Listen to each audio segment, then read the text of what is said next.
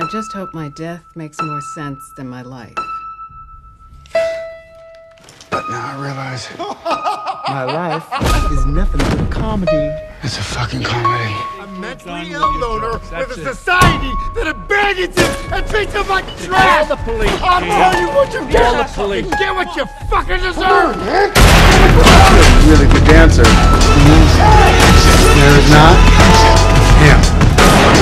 He always tells me to smile and put on a happy face. He says I was put here to spread joy and laughter. Oh, why is everybody so upset about these guys? If it was me dying on the sidewalk, you'd walk right over me. I pass you every day and you don't notice.